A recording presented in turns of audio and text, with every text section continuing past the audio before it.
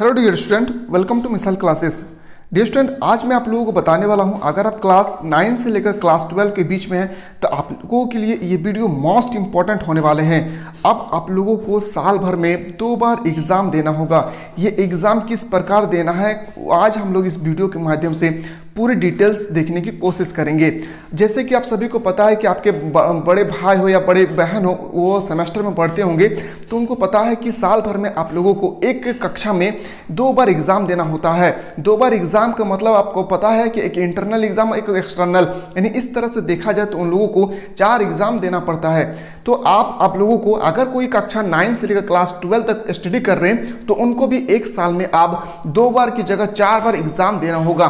दो बार internal exam होगी और दो बार एक्सटर्नल तो आज आप लोगों को इस वीडियो के माध्यम से मैं बताने वाला हूँ कि 2000 तेईस से ये लागू होगा या 2024 से? और कौन कौन से विषय? आप लोगों का जो सब्जेक्ट है वो भी बदल चुका है। अब आप लोगों को कितने विषय में स्टडी करना है आज हम लोग इस वीडियो के माध्यम से पूरे डिटेल्स का दे, साथ देखने की कोशिश करेंगे। तो बिल्कुल आप लोग अगर चैनल पर नए आए हैं तो चैनल को सब्सक्राइब करके बेलाइकन को ज़रूर प्रेस करें। क्योंकि मैं आप लोगों के लिए जैकबोर्ड की तरफ़ से जो जो इंपॉर्टेंट नोटिस जारी किया जाता है हर एक नोटिस को मैं आप लोगों तक सबसे पहले पहुँचाने की कोशिश करता हूँ। तो चलिए हम लोग सबसे पहले देखें जहाँ पर मैं अंडरलाइन करूँगा उसमें आप लोगों को खास करके गौर करके देखना है कि यहाँ पे क्या कहा गया है। तो सबसे पहले आप देखेंगे नवीं से बारहवीं में सेमेस्टर सिस्टम होगी। यानी जिस तरह से सेमेस्टर सिस्टम में एग्ज़ाम दे रहे होंगे, आपके बड़े भाई हो या बड़े बहन हो, उनको पता है कि साल भर में उन लोगों को दो बार एग्ज़ाम देना होता है, एक्सटर्नल और दो बार एग्ज़ाम देना होता है, इंटरनल। यानी चार बार उन लोगों को एग्ज़ाम होता है। आगे लिखा है कि 150 विषयों का विकल्प, साल में दो बार परीक्षा। चलिए हम लोग देखते हैं कि साल में दो बार परीक्षा जो कहा गया है, इसमें किस तरह से एग्ज़ाम लिए जाएँगे। इससे पहले आपको थोड़ा सा यहाँ पे नोटिस करना है। यहाँ पे कि कक्षा तीन से बारहवीं तक का कोर्स तैयार महीने के अंत तक सामने आ सकता है। यानी इस महीने के, जुलाई महीने के अंतिम तक आप लोगों का जो कोर्स है, किस तरह के से आपको स्टडी करना है, आपको अच्छे तरह से आप लोगों को इस वीडियो के माध्यम से मैं बताने वाला हूँ। तो चलिए स्टूडेंट एक एक बात को हम लोग नोटिस करेंगे और ध्यान से आप लोगों को देखना है। एक एक बात को ध्यान से सुनेंगे, नहीं तो आप जो चीज़ पढ़ रहे हैं, वो आपके पेपर में आने की संभावना है या नहीं, ये भी आपको पता होना चाहिए। सबसे पहले हम लोग स्टार्ट करते हैं नई शिक्षा नीति, यानी N C N E P याद रखिएगा, एक संगठन है एन ई पी इसे हम लोग बोलते हैं नई शिक्षा नीति। याद रखिएगा, नई शिक्षा नीति बोलते हैं एन ई पी ठीक है?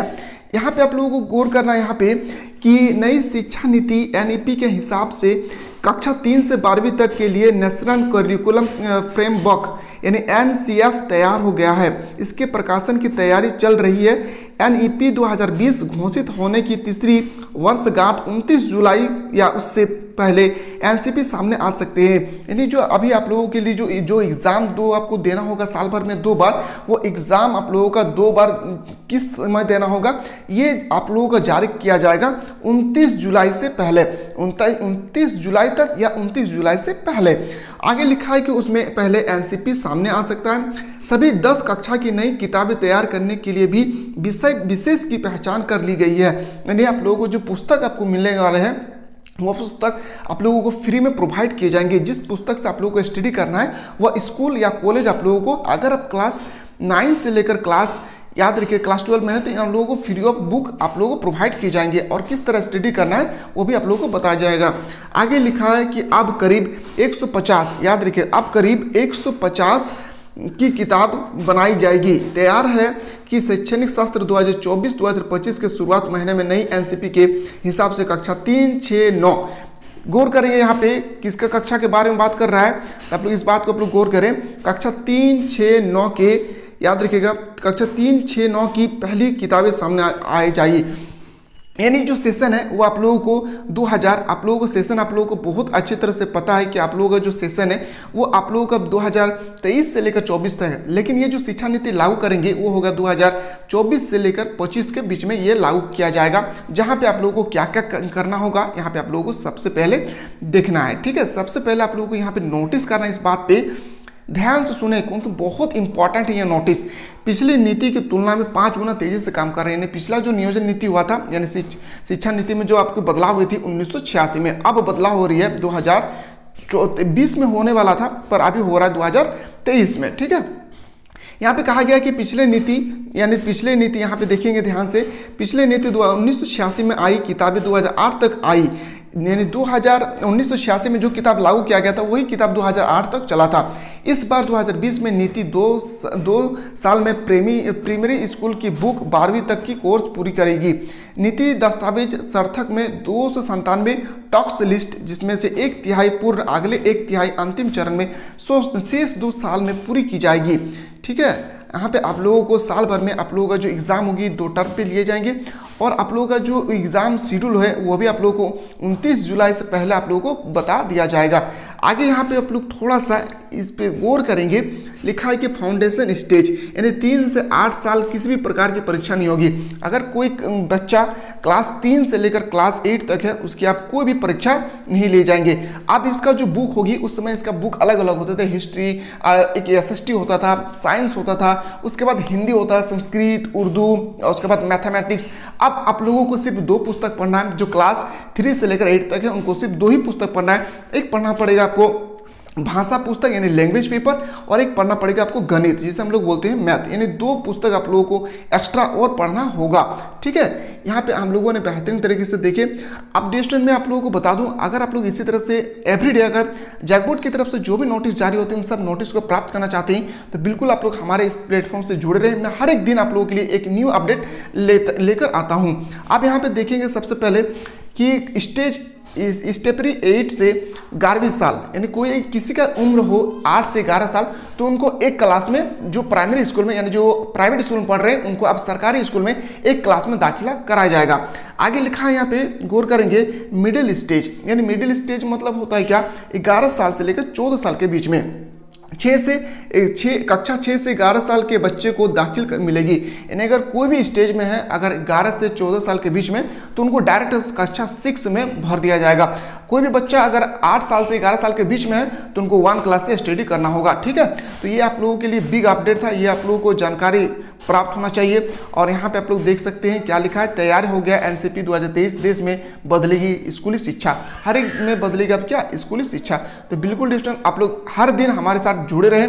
और यहाँ पे जो आप लोगों का सबसे इंपॉर्टेंट नोटिस था, यहाँ पे जो क्लास ट्वेल्व से लाइक करते हैं क्लास ट्वेल्व में तो आप लोगों के लिए सबसे इंपॉर्टेंट इस नोटिस को आप लोग गौर करेंगे। मैं स्टडी कर रहा हूँ, आप लोग ध्यानपूर्वक पढ़ें। सेकेंड स्टेज चौदह से अठारह साल नवी का रिज़ल्ट दसवीं में भी जुड़ेगा।